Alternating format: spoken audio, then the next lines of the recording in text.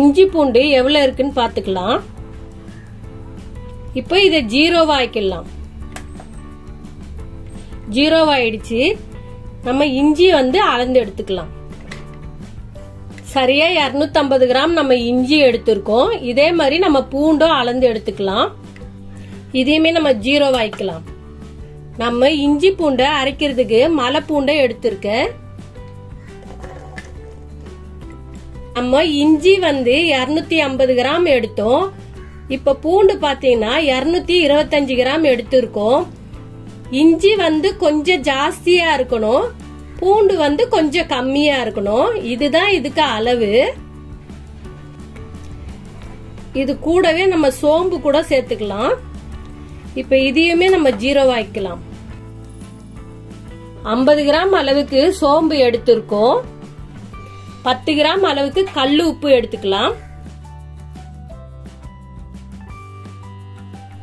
இதையுமே நம்ம ஜீரோ ஆக்கிடலாம். தண்ணி சேர்க்க போறது இல்ல எண்ணெய் சேர்த்து தான் அரைக்க போறோம். நம்ம எந்த எண்ணெயை வச்சு நம்ம சமைக்கிறோமோ அந்த எண்ணெயை சேர்த்து அரைச்சுக்கலாம். நான் வந்து ரெகுலரா கடலெண்ணெய் தான் வச்சு சமைப்பேன். அதனால நான் இதுல நூறு கிராம் அளவுக்கு கடலெண்ணெய சேர்த்துக்கிறேன்.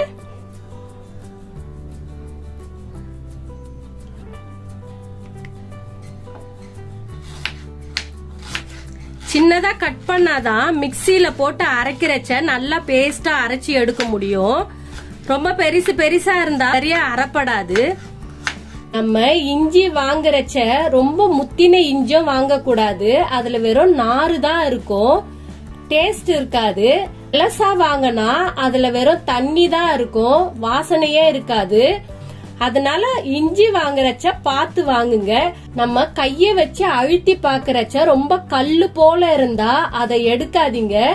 கொஞ்சம் சாஃப்டா இருக்கிற இஞ்ச பார்த்து வாங்கிக்கங்க.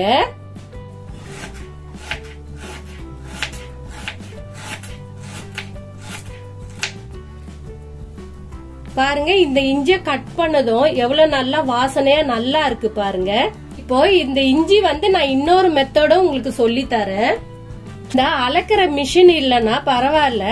இந்த மாதிரி கப்பு எதனா எடுத்துக்கங்க. இந்த ஒரு கப்பு அளவுக்கு நம்ம இஞ்சி துண்டு எடுத்துக்கலாம். நம்ம ஒரு கப்பு அளவுக்கு இஞ்சி துண்டு எடுத்திருக்கோம். இப்போ பூண்டு வந்து முக்கால் கப்பு அளவுக்கு எடுத்துக்கலாம். இப்ப பாருங்க பூண்டு வந்து நம்ம முக்கால் கப்பு எடுத்திருக்கோம். பாருங்க சோம்பு வந்து நம்ம கால் கப்பு அளவுக்கு எடுத்திருக்கோம். இத வந்து நம்ம ஒரே கப்புலயே அளந்து எடுத்துக்கலாம். எண்ணெய் வந்து நம்ம கால் கப்புக்கும் கொஞ்சம் ஜாஸ்தியா எடுத்திருக்கோம். ஒரு டேபிள் ஸ்பூன் எக்ஸ்ட்ரா எடுத்திருக்கோம். இதுவே போதுமானது. நம்ம இஞ்சி பூண்டு சேர்த்து சமைக்கிறச்ச கொஞ்சம் ஹெவியா இருக்கும் இல்லைங்களா? அதனாலதான் நம்ம சோம்பும் கூட சேர்த்துக்கணும். சோம்பு கூட சேர்த்து அரைக்கிறச்ச நெஞ்செரிச்சல் இருக்காது. அதே நேரத்துல சாப்பிட்ட உடனேயுமே நல்லா செரிமானம் ஆகும். இந்த சோம்பு சேர்த்து அரைக்கிறதுனால வாசனையும் சுவையும் ரொம்ப நல்லா இருக்கும். அதுக்காக தான் இத வந்து நான் எப்பவுமே இஞ்சி பூண்டு அரைக்கிறச்ச இத சேர்த்து அரைப்பேன். பிரியாணி செய்யறதா இருந்தாலும் வெஜிடேரியன் குருமா செய்யறதா இருந்தாலும் அப்புறம் முட்டை குருமா தக்காளி குழம்பு நம்ம தண்ணி விட்டு அரைச்சோம்னா சீக்கிரம் கெட்டு போயிடும். அதே நம்ம எண்ணெய் விட்டு அரைச்சோம்னா ஒரு மாசம் ஆனாலும் இது கெட்டு போகாத நல்லா இருக்கும். அதுக்கு தான் நம்ம எண்ணெய் சேர்க்கிறோம் இது கூட. இந்த இஞ்சி பூண்டு பேஸ்ட்ல நம்ம எதுக்கு கல்லுப்பு சேர்க்கிறோம்னா இன்னைக்கு நம்ம அரைச்சி வச்சோம்னா இது கடைசியா தீர்ற வரலும் அந்த கலர் மாறாத இருக்கும். அது மாத்திரம் இல்ல டேஸ்டும் ரொம்ப நல்லா இருக்கும். அதுக்காக தான் நம்ம கல்லுப்பு சேர்க்கிறோம். இப்போ நம்ம எப்படி பண்றதுன்னு பார்க்கலாம். வாங்க. இப்போ நம்ம எல்லாத்தையும் இது கூடவே சேர்த்துக்கலாம். ஃபர்ஸ்ட் நம்ம சோம்பு சேர்த்துடலாம். சோம்பு தான் சீக்கிரம் அறப்படாது. அது கூடவே கல்லுப்பும் சேர்த்துக்கலாம். இந்த பூண்டையும் சேர்த்துக்கலாம். நம்ம கட் பண்ணி வச்ச இஞ்சியும் இது கூடவே சேர்த்துக்கலாம். ஆயிலும் இது கூடவே விட்டுக்கலாம். நம்ம எல்லாத்தையும் இதுல சேர்த்துட்டோம்.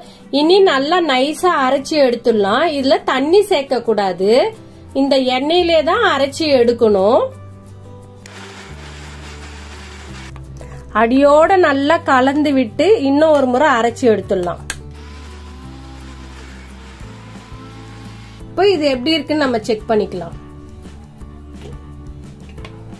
நல்ல பேஸ்ட் போல அரைச்சிட்டோம். பாருங்க நல்லா நைஸா இந்த அளவுக்கு அரைச்சிட்டோம் பேஸ்டா இதுல வந்து தண்ணியே இருக்க கூடாது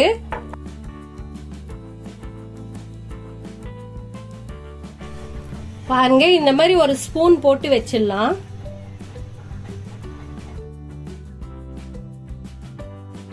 பாருங்க இந்த ஸ்பூனால எடுத்துக்கலாம். இந்த மாதிரி பாட்டில்ல போட்டு ஃப்ரிட்ஜில் வச்சிட்டீங்கன்னா ஒரு மாசம் ஆனாலும் கெட்டு போகாத நல்லா இருக்கும். இது உப்பு போட்டு அரைச்சதுனால கடைசி வரலும் இது வந்து இந்த கலர் மாறவே மாறாது. ஆனா நீங்க வந்து ஈர கையோட போய் எடுக்க கூடாது. இது எடுக்க சொல்ல கைய நல்லா ஈரம் இல்லாத தொடச்சிட்டு தான் போய் இதை எடுக்கணும். அப்போ இந்த வாசனையும் நல்லா இருக்கும். எடுத்து நீங்க யூஸ் பண்ணிட்டு திரும்பியும் ஃப்ரிட்ஜில் வைக்க மறந்துட்டீங்கன்னா இதுல இருக்க சுவையும் கசந்து போயிடும். அதே நேரத்துல இந்த கலரும் மாறி போயிடும். இதுல இருக்க வாசனையும் வேற மாதிரி மாறிடும். இதுல இருக்க வாசனையும் நல்லா இருக்காது. அதுக்காக தான் சொல்றேன். இதை எடுத்து நீங்க யூஸ் பண்றச்ச உடனடியா நீங்க ஃப்ரிட்ஜில் வச்சிடுங்க கையோட. அப்பதான் இது ஒரு மாசம் ஆனாலும் கெட்டு போகாத நல்லா இருக்கும்.